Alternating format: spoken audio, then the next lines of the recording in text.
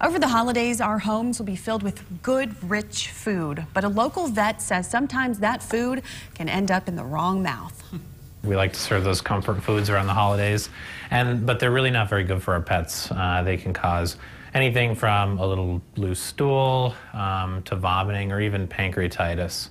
Dr. Anderson says any of these symptoms can happen when a pet eats a toxic food, which you would normally not consider toxic. That could be anything, anything from raisins and onions to chocolate.